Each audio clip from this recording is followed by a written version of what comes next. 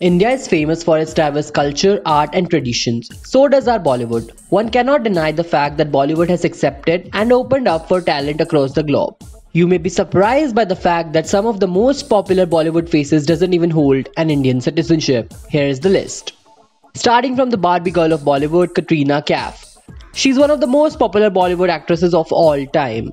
Be it her characters in Mere Brother Ki Dulhan or Ek Tha Tiger, people have showered their love on her every time she came on screen. But did you know that she was born in Hong Kong and holds a British citizenship, not an Indian one? On number 2 we have Alia Bhatt. Believe it or not, our beautiful Alia Bhatt also doesn't hold an Indian citizenship. She was born in London to Mahesh Bhatt and Soni Razdan. That's why she holds a British citizenship. Karenjit Kaur, popularly known as Sunny Leone, one of the most generous girls of Bollywood, was born in Canada to a Sikh parivar and has a Canadian and American citizenship. Hi Garmi. Yes, we're talking about none other than Nora Fatehi. The hottest girl of Bollywood is known for her kick-ass dancing skills and perfect figure. She was born in Canada, thus she holds a Canadian citizenship. Last but not the least, Jacqueline Fernandez. The former Miss Universe Sri Lanka was born in Colombo.